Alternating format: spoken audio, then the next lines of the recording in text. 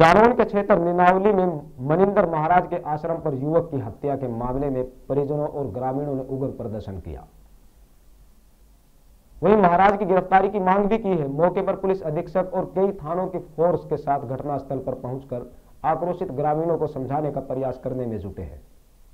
वहीं आपको बता दें कि पुलिस ने इतिहास रिपीट वहीं आपको बता दें कि पुलिस ने एहतियात के तौर पर मनिंदर महाराज और एसआई राजेंद्र प्रसाद तिवारी को पूछताछ के लिए गाड़ी में बिठाया।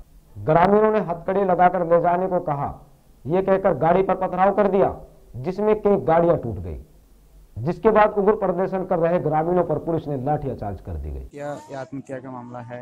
क्या है पूरा मामला और प्रथम दृष्टिया क्या नज़र आता है? ये प्रथम दृष्टिया बताए थाना रामपुरा के अंतर्गत जनपद जालौन के नीनावली जागीर गाँव है जहाँ पर सुबह सुबह एक आश्रम है जहाँ पर सुबह सुबह साढ़े आठ बजे सूचना मिली कि गोली लगने से एक युवक ने आत्महत्या कर ली।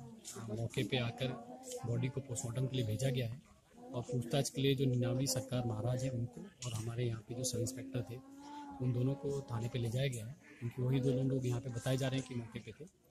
और इसमें अभी सभी एंगलों से हम चल रहे हैं, जिसमें देखा जा रहा है कि इसमें हो सकता है मर्डर भी और सुसाइड भी और इसी हिसाब से इसमें हम आगे अपनी जाँच और विवेचना जारी रखेंगे।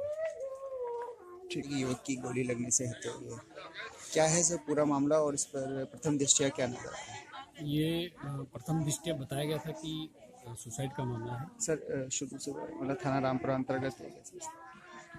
तो दोबारा से हाँ दोबारा।